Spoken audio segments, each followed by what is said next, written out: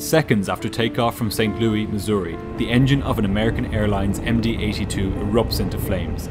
Alarm bells ring loudly in the cockpit as the pilots grapple with the emergency. But they soon discover that this is no normal emergency. Within moments, the captain's instruments fail, and the aircraft begins to lose vital systems. Will the crew be able to make it back to the airport, or will the fire spell disaster for everyone on board? This is the story of American Airlines Flight 1400.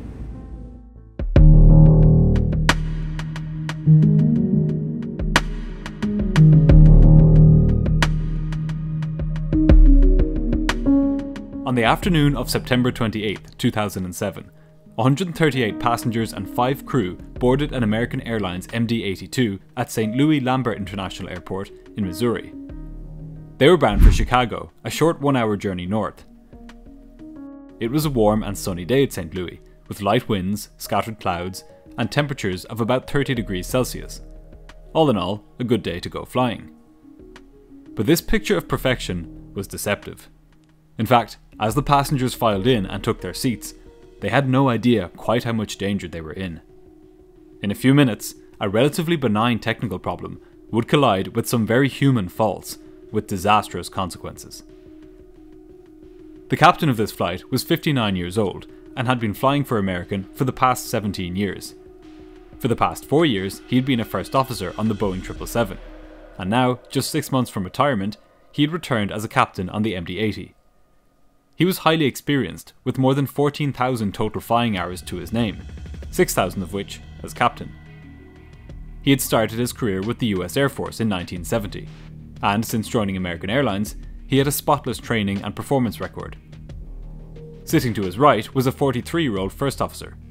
He had joined American in 1999, and between that and his time with the US Air Force and US National Guard, he had built up about 7,000 flight hours, 3,000 of which were on the MD 80. Like the captain, he had an unblemished safety and performance record in his time with American Airlines. But, as we're about to see, not all problems show up in training or in performance reviews.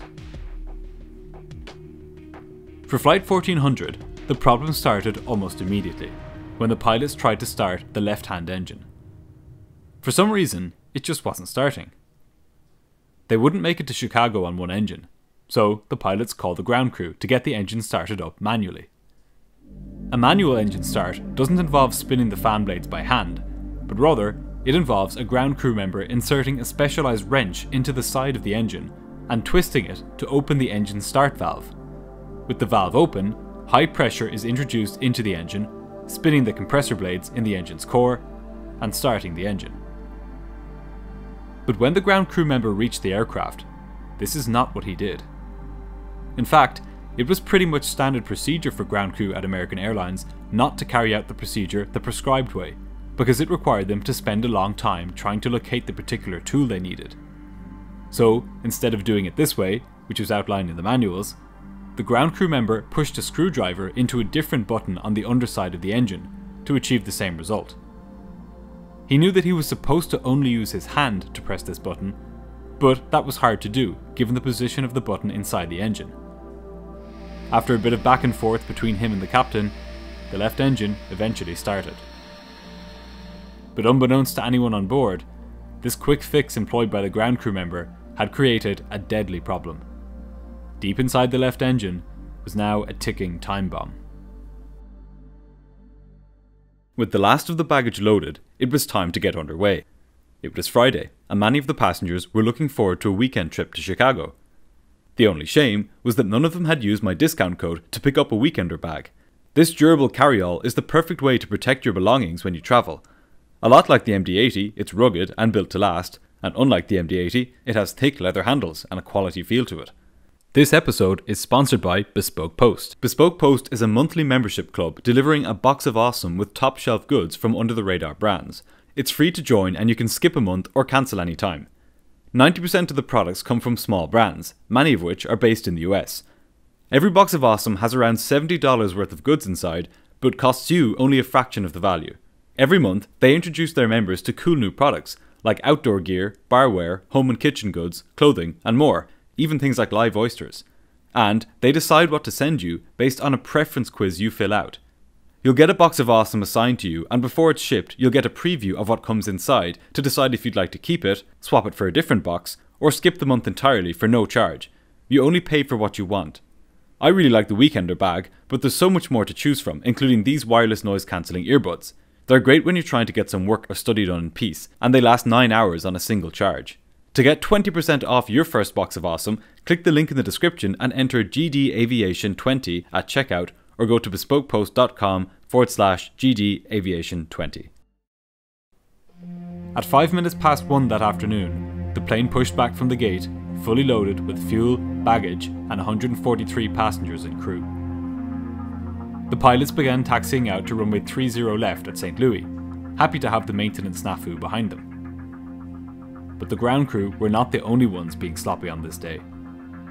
As the pilots taxied out to the runway, a casual attitude pervaded the cockpit. The captain commented that he felt ambivalent now that he had only six months left until retirement. As the first officer read out the before takeoff checklist, he stopped at various points to chat casually with the captain, settling into the mood which he had set in the cockpit. The captain, rather than instructing the first officer to stay on task, engaged him in conversation between checklist items. This kind of chatter is strictly against FAA and company policy, which state that until the plane has reached an altitude of 10,000 feet, pilots can only discuss things which directly pertain to the flight. This is known in aviation as the sterile cockpit rule. If this had been like any other flight, this break from standard operating procedure might have gone without consequence. But on this day, this laid back approach would lead to the pilots being caught completely off guard just seconds after takeoff. The captain briefed the first officer on what they would do if they had a problem on takeoff, saying, quote, Unless we're on fire, we'll go to Chicago. If we're on fire, we'll come back and land here. Little did he know how prescient this statement would be. Just after 10 past 1, the captain lined the aircraft up on the runway and pushed the engines to take off thrust. At that very moment, the start valve on the left hand engine opened. The electrical switch which controlled its position had been damaged by the ground crew member's screwdriver back at the gate.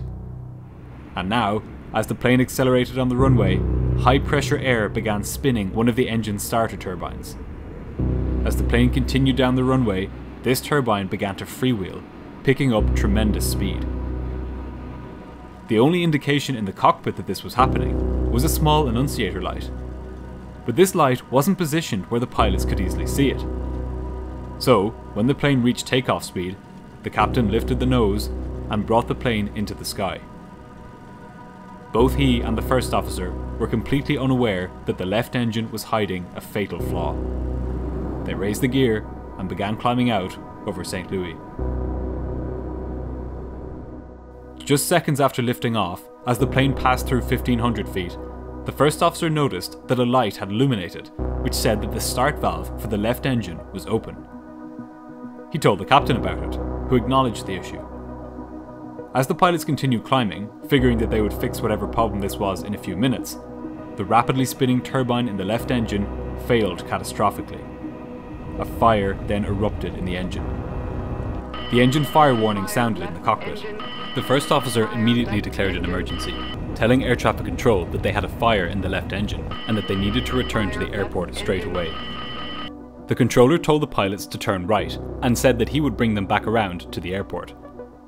Meanwhile, the pilots got to work. The captain announced that he would fly the plane, while the first officer worked through the checklist. This splitting of duties is exactly how the pilots had been trained to handle emergencies. Time is critical when it comes to fire on an aircraft. The pilots needed to complete some key items in their checklists to maximise their chances of a safe return to St. Louis. The first officer took out his checklists and opened the page for engine fire, damage, or separation. The purpose of this checklist, in the event of an engine fire, is pretty straightforward. It instructs the pilots on how to shut down the affected engine, cut off the fuel supply to it, and then put out the fire. There are several further steps in this checklist, but these are by far the most important. But now, at the very beginning of this very serious emergency, the pilots began to flounder. Despite their spotless records and despite the frequency with which engine fires are practiced in the simulator, the pilots will now make a series of grave errors which will endanger the lives of everybody on board. the first officer quickly carried out the first two items on the checklist. He disconnected the autothrottle and set the left engine thrust lever to idle. But before he could complete the vital third step of cutting off fuel to the engine and pulling the fire handle to extinguish the fire, the captain interrupted him by handing over the controls. In this vital moment, when the first officer should have been shutting down the blazing engine, the captain handed him the controls. His reason for this? He wanted to tell the flight attendants to prepare the cabin for an emergency landing. Something which wasn't necessary at this stage, given that the passengers were already seated and strapped in. So now, with the first officer flying the aircraft and the checklist sitting idle, the fire continued burning. As it burned, it began to eat away at electrical wiring and even began to damage the plane's hydraulic systems. In a few short seconds, this emergency was about to get a lot worse. The captain told the flight attendants that they had a fire in the left engine and that they would be landing back at St. Louis in the next five minutes. He told them that they would probably not need to evacuate, but that they should prepare the cabin just in case. At this critical stage of the emergency, this briefing was completely unnecessary. The pilot's sole focus should have been on flying the plane, completing the engine fire checklist, and navigating back to the airport.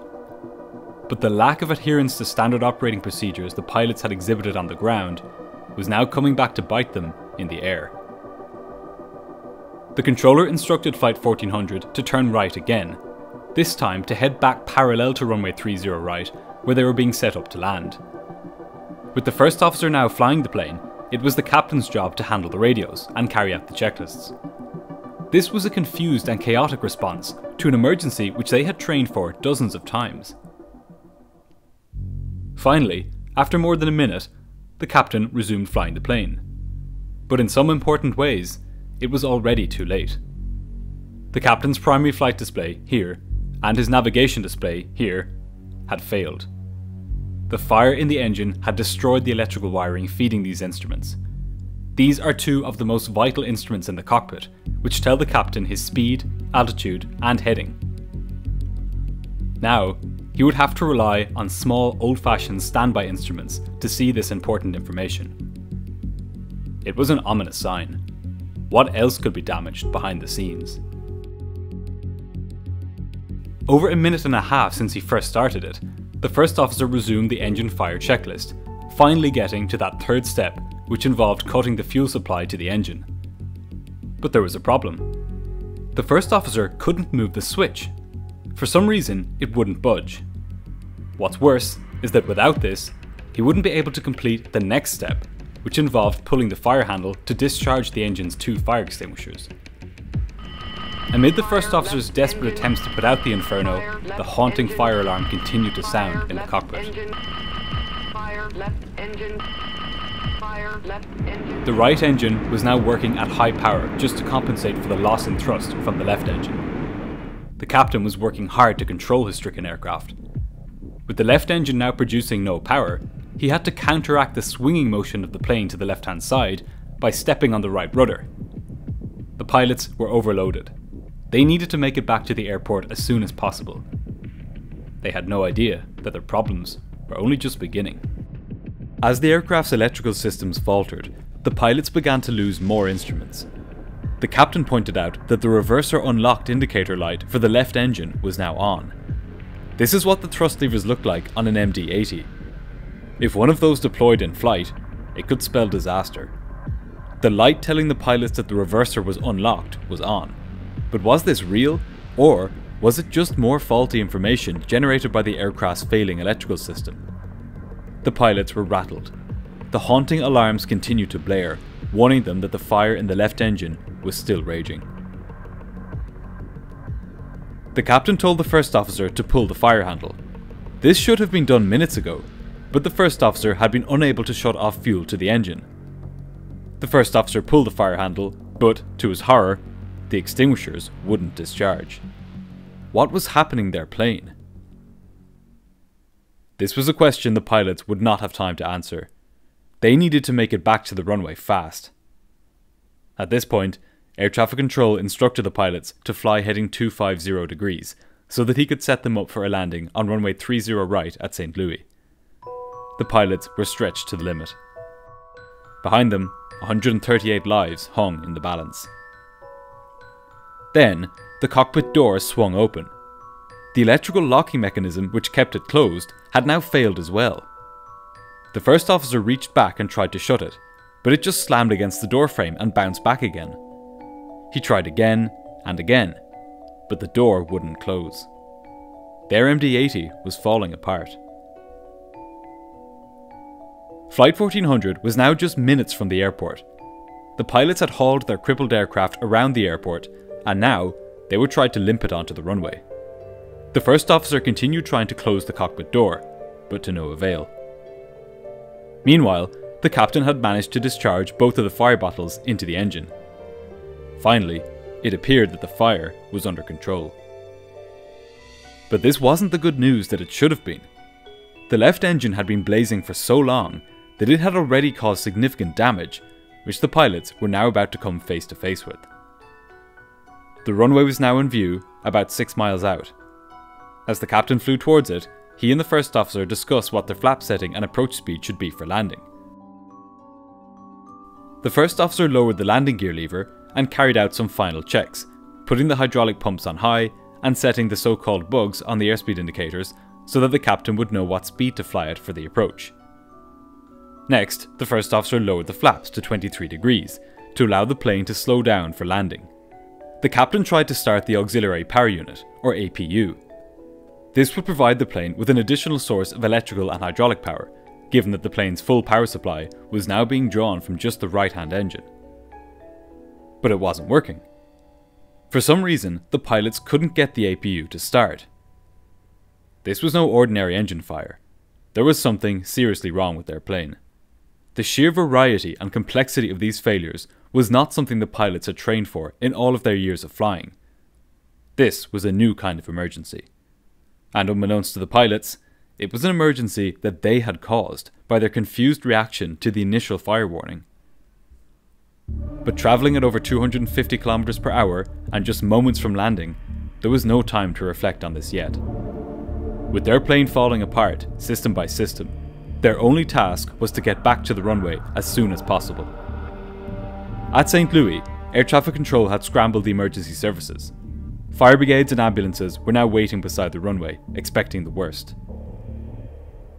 But now, just two or three miles from the runway, Flight 1400 encountered one of its most serious problems yet. The first officer noticed that the landing gear indicator lights had not illuminated. This was a nightmare scenario. It appeared that whatever electrical and hydraulic problems had been plaguing the aircraft had spread to the landing gear system too. Without landing gear, the plane, with three hours worth of fuel in its tanks, would have to touch down on the hard concrete runway, sending sparks flying and possibly igniting a fireball. But there was a backup system for the landing gear. Under the first officer's seat was a handle which, when pulled, would extend the landing gear manually. There was just one problem.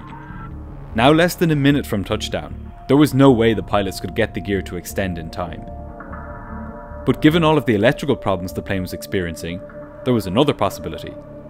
It could be that the gear was down, but that the indicator lights had failed. The captain quickly radioed the tower, asking if they could see whether the landing gear were extended. The controller said that he could see the main gear, but that the nose wheel appeared not to have extended. This was not the news the pilots had been hoping for. They didn't want to keep their damaged jet in the air for any longer than was absolutely necessary. But landing without a nose wheel was not a safe option. They had no choice but to go around. The captain slammed the one remaining engine to maximum power and pulled the plane's nose up. But it was a precarious maneuver.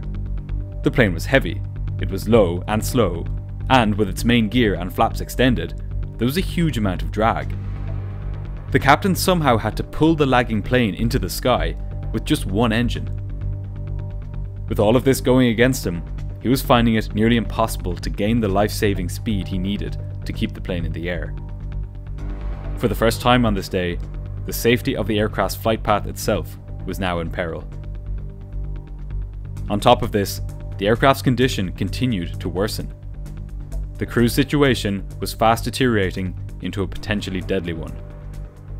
The captain was at his absolute limits. There was now so much for him and the first officer to do that they had started to leave out multiple parts of multiple checklists. They had to focus on only the most important items. It was beginning to be too much for the overstretched crew of two to deal with. The captain called a flight attendant and told her to get the off duty captain who was sitting in the passenger cabin to come up to the cockpit immediately. In less than 30 seconds, the off duty pilot was up in the cockpit. His presence would lighten the pilot's workload somewhat, but there was only so much he could do, given the state of the plane. He began trying to close the cockpit door, while the captain spoke with air traffic control. The captain told the controller that he wanted to stay close to the airport, and that he may have to come back and land on runway 24. Runway 24 was much shorter than runway 30 left and right, and it didn't line up with the wind. But the captain was so concerned about the plane's inability to climb that he was beginning to think he wouldn't make it back to runway 30. In an effort to help the captain gain some much needed speed, the first officer raised the flaps a few notches. The captain then slowly turned the plane to the right. The controller had cleared him to climb to 3,000 feet, but there was no way he would be able to make it that high at this rate. Despite the need to keep engine power high on the remaining engine, the captain didn't want to overstress it. The last thing he needed now was for his one good engine to exhaust itself and fail as well. The captain told his colleagues that he needed to go back and land immediately because he couldn't maintain airspeed. He was the one flying the aircraft, and he had a real sense of the sheer difficulty it had with staying airborne. Again, trying to help with this critical speed situation, the first officer offered to retract the flaps all the way up. This would make the wings smaller and smoother, creating less drag. But the captain was concerned that doing so would cause him to lose the life giving lift that the flaps were there for. He decided to compromise and told the first officer to retract the flaps at the back of the wing, as these create most of the drag, and to keep the slats at the front of the wing extended. Again, the captain said that they needed to land now. He knew that if they kept on flying, they would either burn up the remaining engine or get so slow that the plane would start descending. In the back of the aircraft, it wasn't just the passengers who were nervous, it was the flight attendants too. They could tell that the aircraft was struggling, and it didn't exactly inspire confidence that the pilots had aborted their landing and called for an off duty pilot to come up to the cockpit immediately. They knew that whatever this was, it was serious. The first officer asked the captain what runway they should go back and land on. The captain said that he wanted the longest one. The off duty pilot pointed out that that was runway 30 left, which was a full 2,000 feet longer than the next longest runway. With the controllability problems and hydraulic issues the aircraft was having, that 2,000 feet could make all the difference. Then, the relief pilot noticed something alarming. The plane had lost all hydraulic pressure on the right hand side. This explained why the nose wheel hadn't dropped, and, combined with the loss of the left hydraulic system, it explained some of the difficulty the captain was having with controlling the aircraft. At this point, the plane was now flying parallel to runway 30 left, with the controller directing the pilots back for a landing.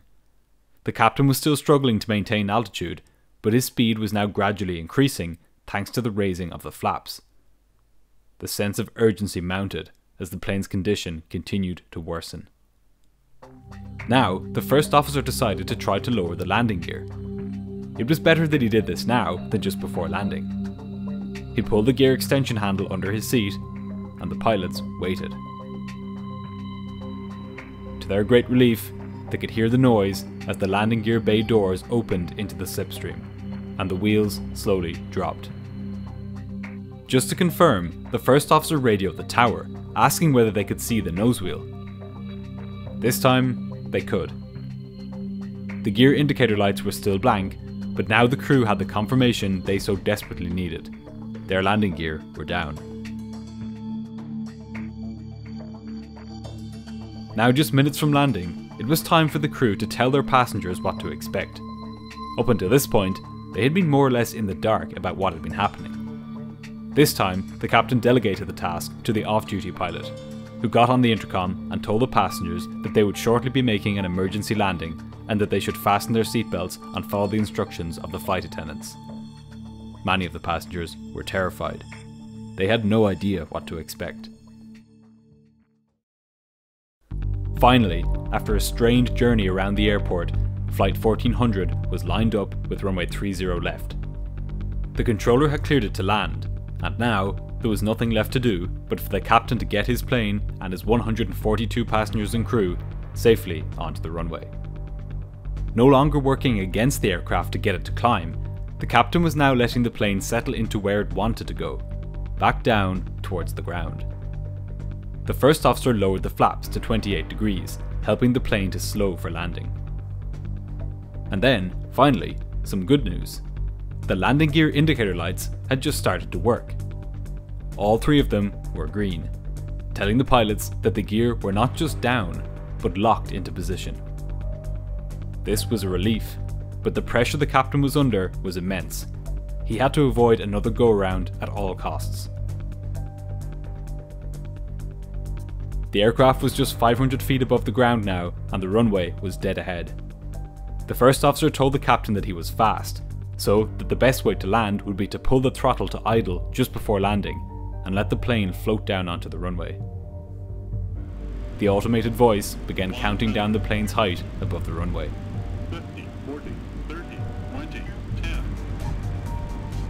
Finally, the plane touched down. The captain slammed on the brakes, and within a few moments, the speeding plane skidded to a stop on the runway. The passengers erupted into applause. After a horrendous ordeal, everyone on board was finally safe. But despite the positive outcome, big questions remained. What caused the engine fire in the first place? And why did it cause so much damage? Investigators from the US National Transportation Safety Board got to work immediately to find the answers to these questions. And what they found revealed some critical failings at American Airlines. As it turned out, the reason the engine wouldn't start on the ground at the beginning of the flight was that a filter inside the engine had disintegrated and blocked airflow to a key part of the engine. This should have been picked up by American Airlines maintenance procedures, but these procedures were found to be lacking by investigators. To make matters worse, the ground crew misidentified the air turbine starter valve, or ATSV, as being the reason the engine wouldn't start, rather than a problem with this filter. On top of this, they used an unapproved method to start the engine, which led to the fire it experienced directly after takeoff. So, we have maintenance and oversight problems at American Airlines, as well as ground crew who were carrying out unapproved procedures. But from a human factors perspective, the biggest lessons which can be learned here are to do with how the pilots responded to the engine fire when it happened. The final report into this incident recommended that airlines review their pilot training on task allocation and workload management during emergencies, to ensure that when pilots are running emergency checklists, they should not engage in non essential tasks, in this case, like calling the flight attendants and talking to air traffic control. If the first officer had continued with his engine fire checklist uninterrupted, it's very likely that the plane would have returned to St. Louis on the first attempt with minimal issues. One pilot, cited in the report, asked rhetorically, What is the easiest way to prepare yourself to deal with events that are unfamiliar to you? Events where there are no established procedures. Based on my flying experience and aviation safety background, I firmly believe that the answer is rigorous adherence to standard operating procedures and cockpit discipline on each and every flight. When you do this, you are preparing yourself for the unexpected. The pilots of Flight 1400 were not prepared for the unexpected, and they did their jobs in a system which, through poor oversight of its maintenance procedures, threw the unexpected at them. In this case, the passengers of Flight 1400 were lucky that they remained live test subjects in this very risky experiment. If you enjoyed this video, then you can get early access to ad-free videos here, and if you'd like to watch more, there's a playlist just here. Thanks for watching, and see you for the next video.